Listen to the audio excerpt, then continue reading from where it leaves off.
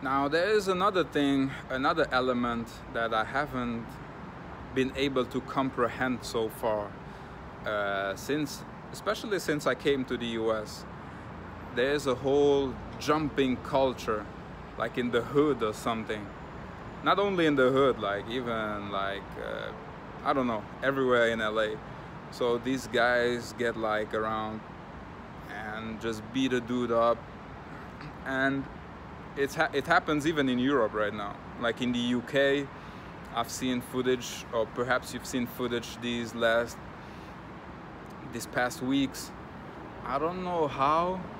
I wonder how these guys are able to feel strong and they leave the scene with such confidence, like we did something, like we're the man. How do they get that feeling? Like, because they look like a pack of hyenas. I mean, not even not even hyenas because hyenas they got they take on lions sometimes. They have a strong bite. They're intelligent.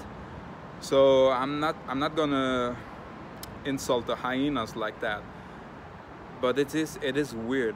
It is it is it is really really weird that you kind of feel empowered by doing such a such a sucker move i don't get it I don't know if I'll ever do, if I ever do get it. Because back then people used to think that hooligans were bad.